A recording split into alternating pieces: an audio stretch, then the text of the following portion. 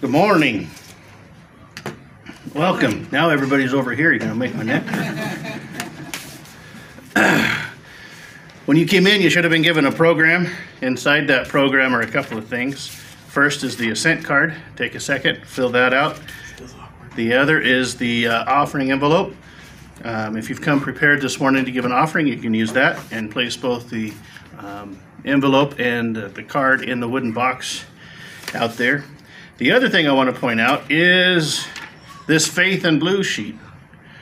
We need help on the 17th from 11 to 2. We are doing a booth down at the Pioneer Park, and we're going to have some games for the kids, and uh, it'll be a fun time. So if you're interested in doing that, talk to Jolene. She didn't know I did that, but I just did. I knew that was coming when you were saying that. I was like, I know what's coming. So if you're interested in helping out down there, it's just uh, running some games and giving away prizes to kids. It's going to be a pretty good time. Why did you keep me informed of what we're doing? Because I have no idea. I have no idea what we're doing either. I thought you did. Yeah, well, So, hey, And Jeannie and Chad, and the girls, and Ron Lee and Steve are gonna be playing yes, there at the, at the park. yes. So that'll be a fun time. So come in and run the booth and enjoy the music, and uh, um, it'll be a good time. Also, on the 18th, we'll be having church service down at the park with the Faith and Blue um, rally. Um, everybody online, it's great to have you here today. Let us know you're here by commenting down below. Let us. I'd love to see your names and see who's who's here joining us. If you have come today and you want to give as part of your worship, you can go to ascentcc.com forward slash giving. And you can it takes you to a nice secure website where you can give that way. Um, you are also invited to the faith and blue rally on august 17th and 18th um, 11 to 2 we'll be down there doing the games. Come down and join us. It'll be a great time of fellowship and reaching out into the community. With that being said we are continuing our series on the on the Sermon on the Mount, and we've kind of turned a corner here because we finished up the Beatitudes last week, um, and we're turning a corner. And today really isn't a beatitude, but it kind of ties in with that because uh, we're going to be talking about salt and light, and uh, we are going to dig into that and what that looks like and what that means. So let's pray, and we can we can begin our our teaching. Jesus, we come before you this morning and we just we want to bow our hearts and our minds before you.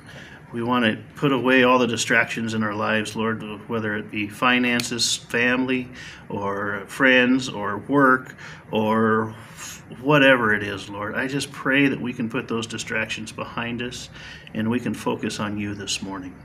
Uh, we love you, we, we, we worship you, and we want to dedicate this time to you. We pray this in Jesus' name.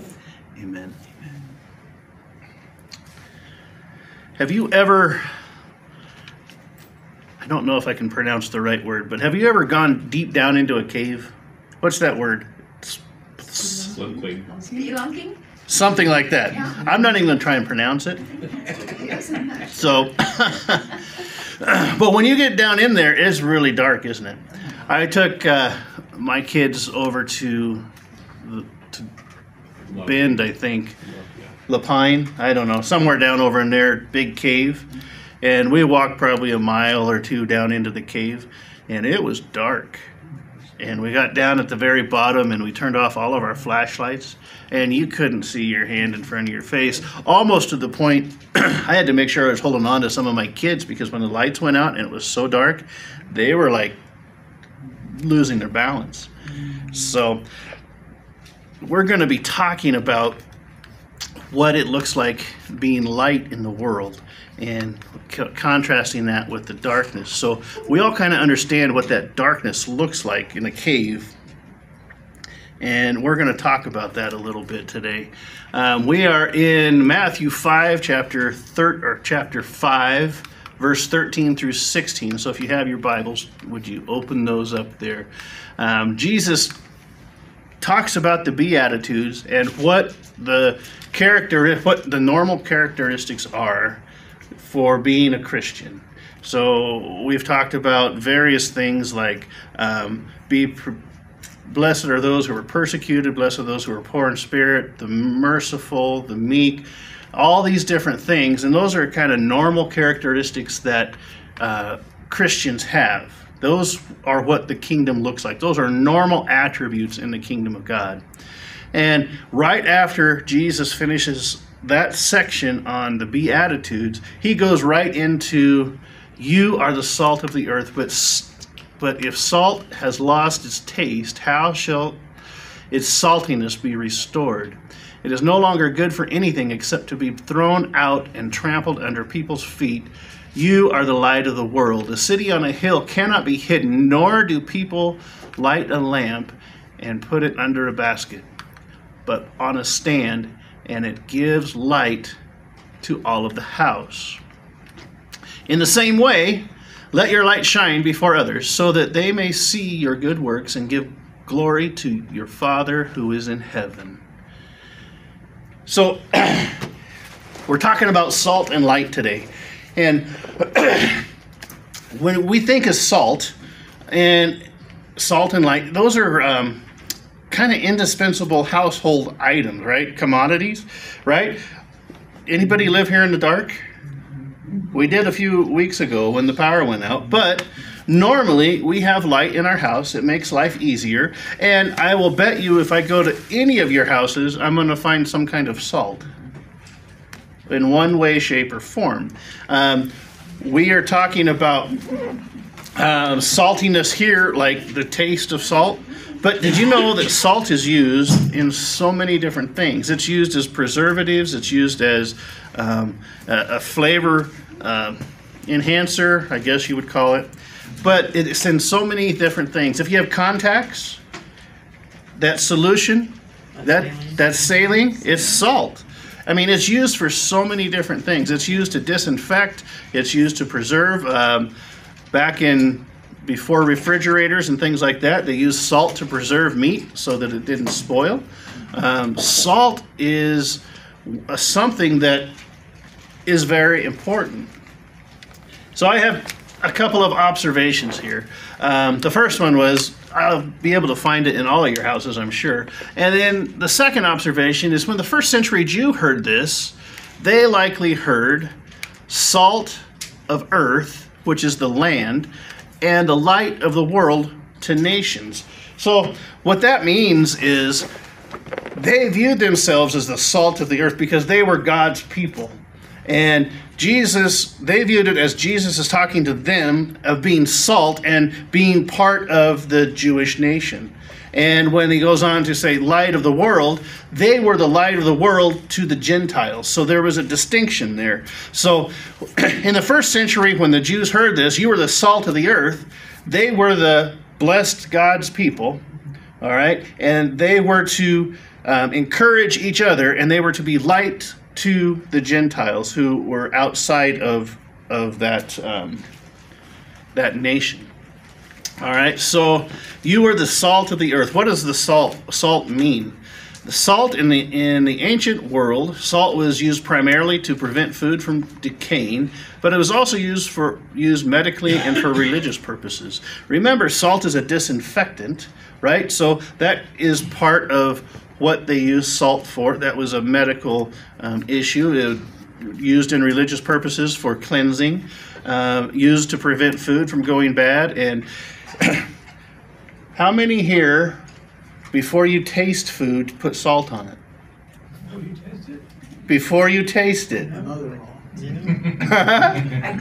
you cook with it. But I don't add it. Okay.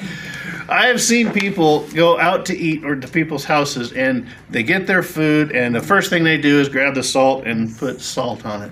And they won't even eat it before they put salt on it. I've also seen people who ask for salt and pepper and if you hand them the pepper first, they'll hold it and wait for the salt and salt and then pepper their food.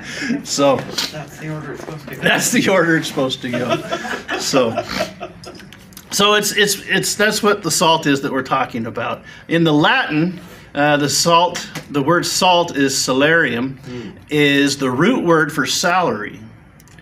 and or salt or money. All right. So, in doing the research, it was interesting that this word salt was for salary because some Roman soldiers, because salt was such a precious commodity, a precious thing, some Roman soldiers got paid with salt. So when you start talking this Latin word salary, and it's interesting because you go back and some of the Roman soldiers were actually paid in salt. All right, salt has many uses. It's a preservative. It's it's a, has a penetrating quality. That's when you preserve the meat, it penetrates in. Um, it's purifying. It makes things palatable. And so, thinking through this, the salt of the earth and Christianity. All right, we we think about being salt and light and going through and thinking about things that Christianity has brought to the world. Um, we can look at we Christians have built hospitals, schools, orphanages, rescue missions. There's been legislation based on the moral Christianity. Um, there is medicine, churches, colleges, universities, benevolent institutions, our civil liberties, modern science, um, the sacredness of human life. Um, we are still battling that on many fronts, but uh, we are, are, are constantly battling that. Um, development of art and music, elevation of justice, and probably most importantly, salvation. All right. So, being a salt of the earth means doing these kind of things, right? Being a salt and light is doing these kind of things. In Christianity, um, Jesus has told us we are to be the salt of the earth. And if salt loses its taste, it is no longer good for anything except for thrown out and trampled under people's feet. Can salt lose its taste? There has been research done, and people have tried to prove this wrong that this scripture isn't right. Um, salt doesn't necessarily lose its taste, but it can go stale and it can be polluted. Like if other things get in there, it can be polluted, it can be uh, not good as salt. So when we start thinking about this, if salt loses its taste, if it goes stale, or if something else gets in with it, what good is it? It's only worth being thrown out and trampled under people's feet. So, we, as the salt of the earth, we need to make sure we maintain the purity of that salt. You follow what I'm saying? Maintain the purity of our lives so that um, our witness doesn't get thrown out and trampled under people's feet. So, when Jesus is talking about this, if you lose your saltiness, if you lose the ability to be a witness to people because of poor choices or impure motives or um, things that you have done and people have seen, your witness kind of goes out the window. Your testimony kind of goes out the window because of your attitude or actions that you impure motives. Does that make sense? Do you follow me with that? Tasker says Christians are to be the moral disinfectant to the world where moral standards are low, constantly changing, or non existent. So when we start talking about this word salt and being a disinfectant, we are to be the moral majority. Do you understand what I'm saying? The moral majority. We are to be the disinfectant to the world. And if we are to be the disinfectant for the worldliness, how can we do that and just stay in our little church building or in our own little circles. We have to stand up for what is right. We have to stand up for the truth. We have to get out of our comfort zone and share the truth. Share the truth of who Jesus is and let people know that Jesus is the only way. So, this word light I find this one interesting too. You are the light of the world. A city on a hill cannot be hidden. A city on a hill cannot be hidden, nor do people light a lamp and put it under a basket. In the same way, your light must shine before others. So it's kind of like being down in that cave. If you shut off all the flashlights and you are surrounded by darkness, and you were to take a match and light a match down there, have you ever done this? Light a match down there. How amazing is it how much light that little match can give off? Now, let's take that into um, we are the light of the world. Our little match, our little light, when we combine it with others, how much brighter does that light get? We are to work together to be the light of the world, to share Jesus with those in the world. Everybody following me? Some observations. Jesus is the light of the world. He says, I am the light of the world. Whoever follows me will not walk in darkness, but will have the light of life. As long as I am in the world, I am the light of the world. So our light is to reflect Jesus. Jesus is light. You follow that? So it's kind of like the sun and the moon. Does the moon have its own light source? But it reflects the sun, right? So we are to reflect the sun, Jesus, right? We are to reflect his light on the world. And that's how we are to be a light to others. Um, we are in a world that is shrouded in dark. that, The word darkness there. I don't know why the thing didn't get in there. So we live in a world that is dark. We live in a world of darkness, and I think that I think that we can see it every day. Um, I know recently there was some controversy at the Olympics. I still haven't seen it, um, but uh, everybody is up in arms over the opening ceremonies, which is interesting because this is a secular show, a secular thing, and why I'm not sure why we were so surprised that this happened because we live in a dark world. Um, yeah, I don't like the idea of it, but maybe this can open some conversations to share the light of Jesus with others. Does that make sense? Yes? No? Yes. Yeah. So instead of us getting all angry and up in arms about it, let's try and open some conversations and be the light, be the salt and the light of the world, and share Jesus. On the flip side of that, it's not just Christians that were upset about it. The I saw on the news, Samsung's like pulling like seven billion dollars worth of advertising from the Olympics, and they're not a Christian company. Which I, I was honestly that floored me more than seeing the hearing and seeing what happened at the opening ceremony. But we are to be salt and light. We are to be salt and light to all the different cultures that we have around us. We are to be salt and light to all the all the generations, all the there's another G word I can't think of. We are to be salt and light to everyone, which is telling them that you know what? This is the truth. Jesus loves you. You can say whatever you want, but Jesus loves you and he wants you to be his child. And I think that with all the controversy happening at the Olympics and all of that, I think that's where we need to land. Yeah, it's an opportunity. That's where we need to land is being salt and light like Jesus has told us to be to the world.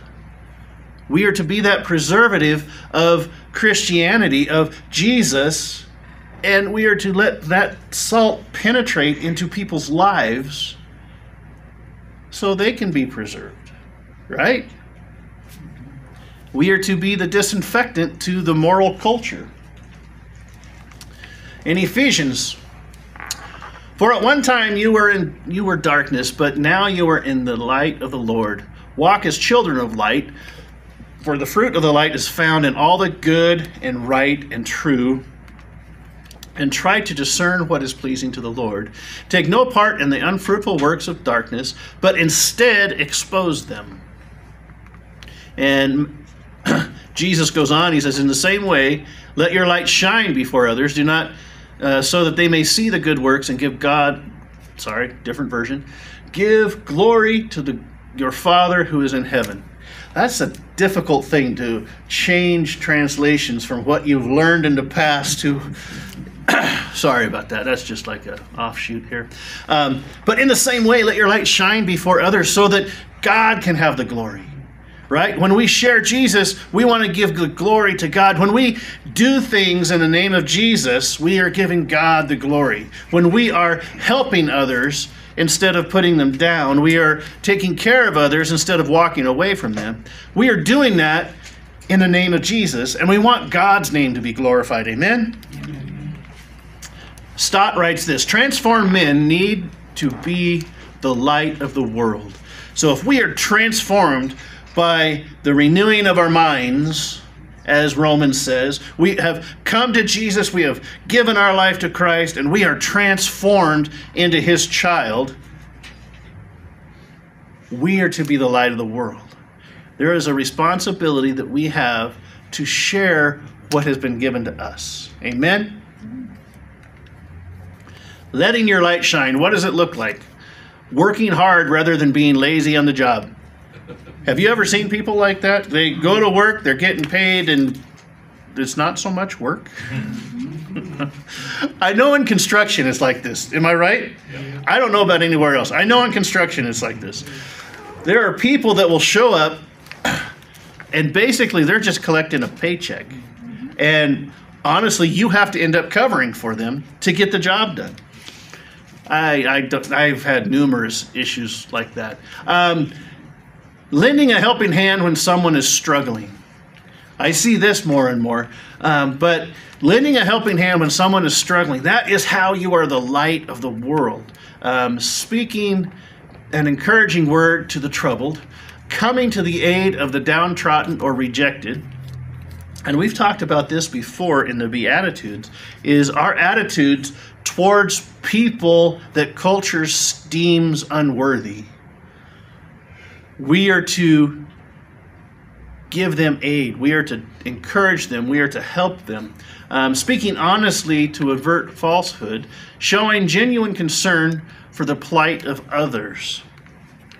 Standing firm when everyone else bends. Being faithful when everyone else is unfaithful. Sharing a compliment rather than a complaint. That's hard to do for some people, right? That's hard to do for us sometimes, isn't it? Sometimes it takes some time to think of a compliment. Am I right? But instead of complaining about it, I think it's important that we think, have our mind in that state where we are complimenting instead of criticizing. John Stott goes on and says, God intends the most powerful of all restraints within the sinful society to be his own redeemed, regenerated, and righteous people. He intends us to be the one that spreads the gospel. We do it through the power of the Holy Spirit, and we rely on the Holy Spirit to do the conviction and to break the hearts of people, but we are to share the name of Jesus. We are to let people know who Jesus is, what Jesus has done for us, and how much better life is with Jesus than without, and let the Holy Spirit work in their life. Amen? We are not to convict them, that's not our job. Our job is to share Jesus, share the gospel. Here's some application here. There must be a fundamental difference between Christians, the church, and the world around us. There is a fundamental difference between Christians and the church and the world around us. I know there's churches out there that claim to be Christian, but when you look at them, it looks like they're molding and, and growing into a worldly entity. We are not to be doing that. We are not to let the world influence us. We are supposed to influence the world. We stand on the truth of God, and that is how we as a church and Christians are to shine the light. That is how we are to be the salt and the light to the world, is we stand on the truth of the Word of God. And we take it as the truth. We don't let the world come in and influence little pieces of it to let it fit or be um, more accepting to our culture. But we are to stand on the Word of God. We are to stand behind that and let people know that Jesus is the way, the truth, and the life. And what the Word of God says is the Word of God. And we let that influence our world. We let that influence our culture. And as a church, we preach the Word of God and nothing more. Amen? Sorry, I feel like I'm getting on a soapbox. Chesterton says, We do all, we do not want the church that will be moved by the world. We want a church that will move the world. That is what I'm saying. Is we are to be the leaders in the world culture. We are to be the disinfectant for the world morality. And we are to show people how to live, who we are living for, and that is how we are salt and light. So, application Christians must accept the responsibility of being salt and light. We must not conceal our witness by sin, compromise, laziness, or fear. Think about that a little bit. We are not to conceal our witness by sin, compromise, laziness, and I think this last one is very important, or fear.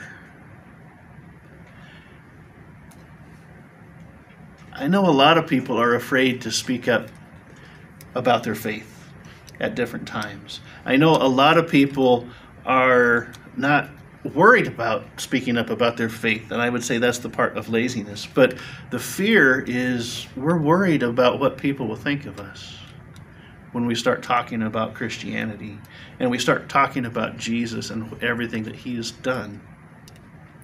But Christians must not accept must accept the responsibility of being salt and light.